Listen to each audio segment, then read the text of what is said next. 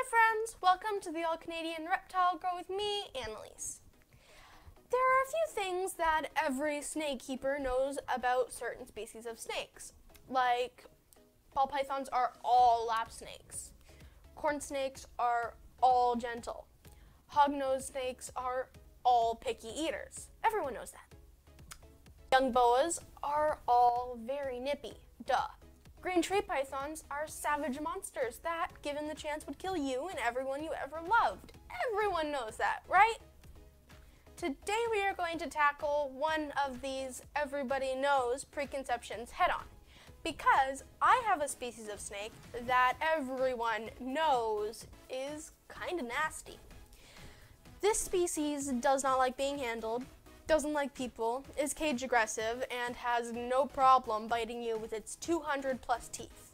I've had comments and discussions on my Instagram from other people who have interacted with this species, and it's usually a story about them getting bitten. Like I said, everyone knows that they're all just mean.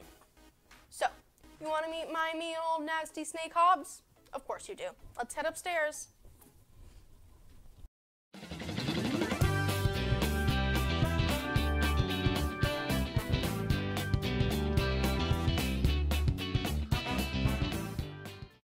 Here we are, outside the lair of the beast. I hope you realize the horror and pain I am risking just by opening this door. Are you ready? Here we go.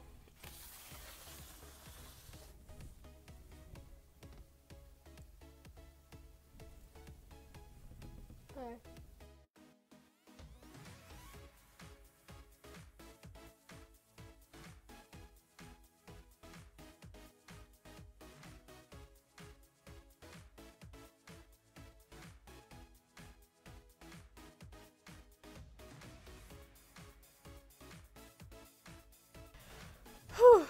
Was pretty touch and go there, but I survived. Pretty scary, right? Let's head downstairs. So you might recognize this guy. He's been in a few of my other videos, including the one where we first brought him home. This is Hobbes, my Macklots python. Macklots pythons are native to parts of Indonesia, Papua New Guinea, and northern Australia. They are related to olive pythons, which is Australia's second biggest snake, getting to about 15 feet long. But macklots are usually much smaller, getting to between 6 to 8 feet, with some really big ones getting to about 10. Here in indoor light, Hobbes looks like a generic brown snake. But in outside light, under the sun, he is just beautifully iridescent and shimmers in bright pinks, purples, blues, greens. He is just gorgeous. Females are generally much bigger than males. So, at seven and a half feet, Hobbes is a big boy. He probably won't get any longer, but he will get thicker as he ages. And as I mentioned, Macklots pythons have a reputation for being less than friendly, especially when they are young. The common belief is that they calm down a bit once they hit four feet or so, and most can be tamed down with a lot of regular handling. But even still, they are pretty easy to rile up, and bites are not uncommon. But as you can see, Hobbes is nothing like that. He's gentle, very easy to handle, and shows no cage aggression, even when we go poking around his tank for maintenance, or we go try to get him out when he's napping, or just not really in the mood to come out. Usually though, he just comes whizzing out whenever we open the door, like he did earlier.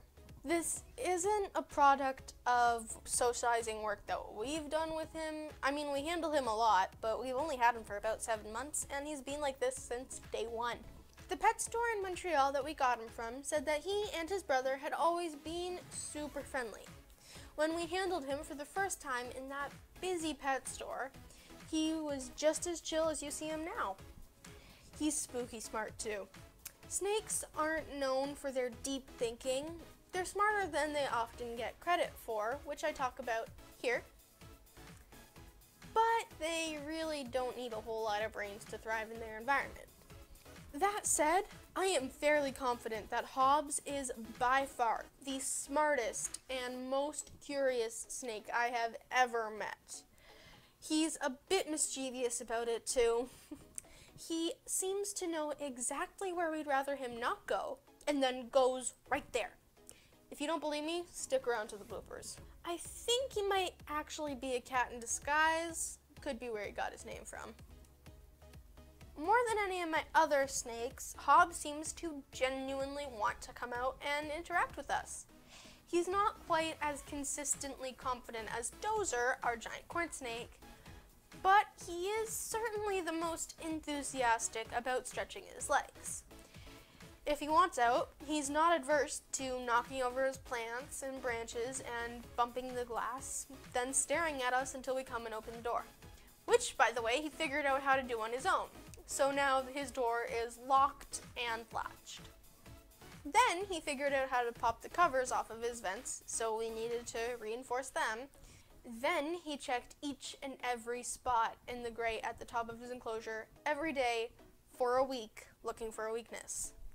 He figured out this feeding schedule and knows exactly what day is feeding day and is up first thing in the morning, bumping the glass and eyeing us even before we take any rodents out of the freezer. If I didn't know any better, I'd say he might even know his own name. He focuses intently on the TV when it's on, which is weird. He will happily sit draped over our shoulders and stretched out toward the TV, watching whatever we're watching. Eventually, he'll go over to someone else on the couch, get comfy, and watch some more. It was a little unsettling at first, but now it's just another aspect of his personality that we've come to love. Let me know in the comment section below what his favorite show might be. He is also an art buff. We have lots of paintings on the walls, but without fail, he stretches way out to a specific painting of a snake and checks it out thoroughly. I'm sure it's just the bright blue color that interests him, but it's almost like he recognizes it's a snake and has to check it out. That's impossible, of course. His brain is not wired to think this way, but it's definitely odd and is easy to anthropomorphize this kind of behavior, especially with an animal that has as much personality as this guy. The only time Hobbes isn't super friendly is when he's in blue or about to shed. Then he gets a little cranky. As you may know, right before a snake sheds, their eyes get all milky white. This is due to an oily secretion they produce as a lubricant between the old skin that needs to come off and the new skin underneath. They produce it all over because the scales covering their eyes are transparent. You really can see it there. Shockingly, with these cloudy eyes, your snake can't see as well as they normally would, which means that they might not see you coming and be surprised when you touch them. And they might be more defensive or just generally more stressed out. I imagine that the skin needing to come off over their entire body might be itchy or otherwise irritating to your snake and make them a little bit more cranky than usual. Being fussy during shed is not uncommon in snakes, with the exception of Dozer, my big corn snake that I mentioned earlier, whose mood and temperament never change. All of my snakes seem to exhibit some behavior change during shed. Some just like to hide a little more, some don't want to eat, some don't like being handled, some seem to even pout. Hobbes gets a little snarky. I can't fault him for that. And a snarky Hobbes isn't much of anything, anyways. He might give a little headbutt and try to get away, but once out of his tank, he's right back to normal. He's pretty great. Yeah, you are. A big puppy. Macklots python's overall reputation is not entirely undeserved. There are more ornery species of snakes out there, to be sure, but Macklots pythons are more aggressive than most pet snakes. But as you can see with Hobbes, there are exceptions. And those exceptions are not always that uncommon. Hobbes is not that unique. Brian Barczyk has a massive Macklots that I've seen on his channel, and he's every bit the goofy puppy dog that Hobbes is. The Virginia Aquarium has Mac the Macklots python as one of their reptile ambassadors. He is also great with people and is amazing to handle. And he is super great with kids. I bet I might even get comments below from fellow Macklots keepers about their super friendly Macklots. Clearly, what everyone knows about Macklots pythons is not always the case. Primary purpose for this video really was just to show off Hobbes because he's amazing, right? But I also wanted to demonstrate that preconceptions can often be misconceptions. Aggressive snake species can be much friendlier than you'd think. Conversely, you can't just assume that you can be careless or rough in handling your ball python or corn snake because they are all friendly and not get nipped. These are primal creatures who process their world through simple associations and basic needs safety, food, reproduction. Being familiar with your snake's typical disposition and being mindful of changes will help you anticipate reactions. Calm energy is important too. As primitive as they are, they can absolutely read your mood and energy. If you're antsy, they react to that. A calm demeanor when handling your snake will help ensure a positive reaction and build trust with your scaly nope rope. That's it for today. As of this filming, we are still in the midst of our shutdown due to COVID 19. I hope that you are all washing your hands, social distancing, and staying safe and healthy during this strange time.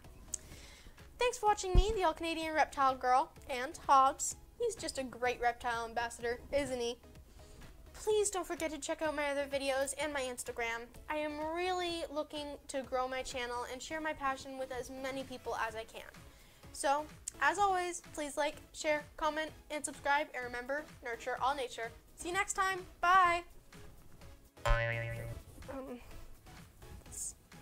just slightly...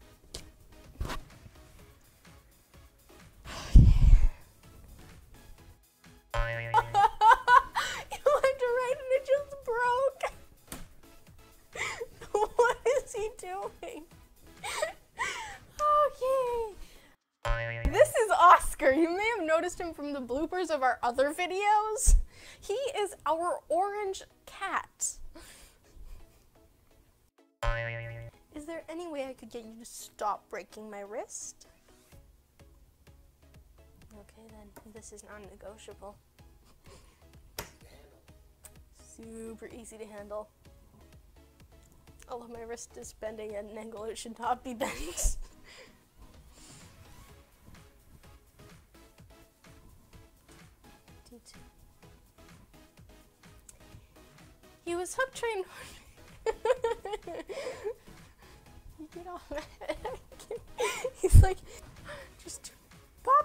Oh, it is red. Okay.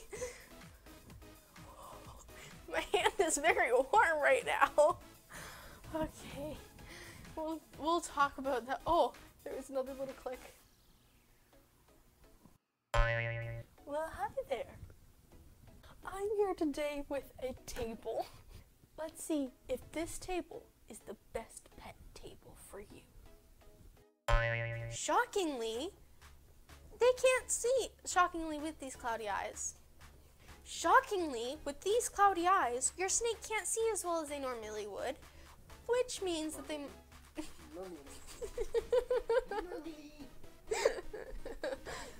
Shockingly, with these cloudy eyes. I just like the transition of laugh, laugh, laugh. Shockingly. Shockingly, with these.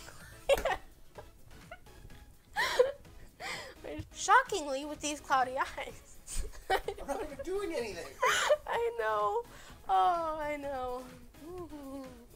Shockingly, with these cloudy eyes, your snake can't.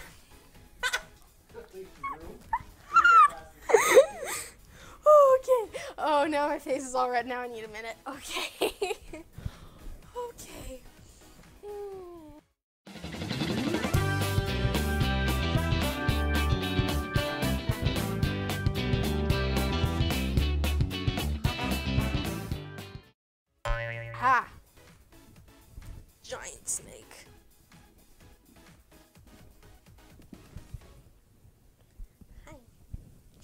Friendly.